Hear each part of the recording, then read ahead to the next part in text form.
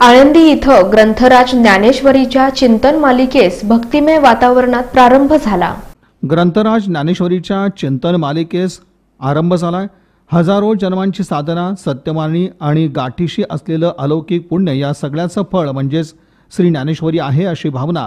ज्ञानेश्वर महाराजांनी स्वमुखानं व्यक्त केली आहे असं मत डोंबिवलीचे हरिभक्तीपरायण जयेश महाराज भाग्यवंत यांनी व्यक्त केलं. कोरोनाच्या पार्श्वभूमीवर यंदा आषाढी पायी वारीचा सोहळा नसल्यानं जगभरातील वैष्णवांना घर बसल्या वारीचा आनंद घेता यावा म्हणून श्री संत ज्ञानेश्वर महाराज संस्थान कमिटी श्री क्षेत्र आळंदी महाराष्ट्र राज्य पालखी सोहळा पत्रकार संघ आणि माय एफ एम रेडिओ यांच्या माध्यमातून शनिवार तेरा जून ते बुधवार एक जुलै दरम्यान ग्रंथराज श्री ज्ञानेश्वरीचे फेसबुकद्वारे निरूपण उपक्रम आयोजित करण्यात आला आहे.